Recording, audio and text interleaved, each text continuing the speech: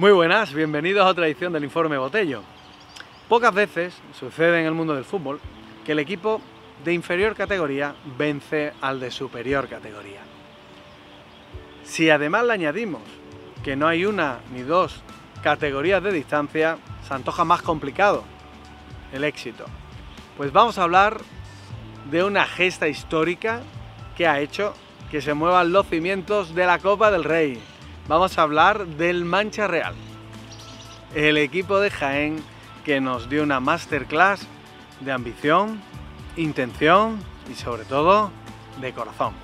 Una gesta que a todos nos debe arrancar una inmensa sonrisa. Vamos a hablar de qué es lo que hizo el Mancha Real en la última edición de la Copa del Rey.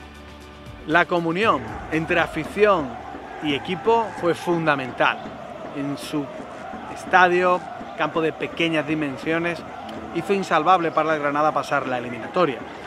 Una masterclass de táctica, técnica, ambición y sobre todo la comunión entre grada y afición que hizo que el, el Mancha Real se llevase la victoria. Próximo rival, eliminatoria ante el Atleti de Bilbao.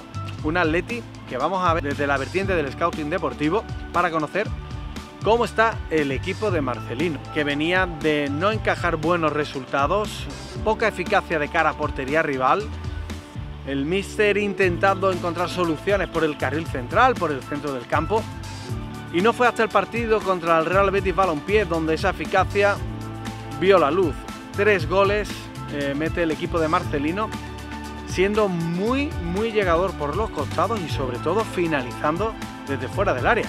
En definitiva, el Mancha Real se enfrenta a un equipo que tiene poderío físico con espacio, que tiene en el centro del campo mucha movilidad, equipo de élite, pero haría mal el Atleti de Bilbao en confiarse porque jugar contra el Mancha Real es jugar contra un equipo que no lo conforman solo 11 futbolistas, es una ciudad entera la que está detrás de este sueño.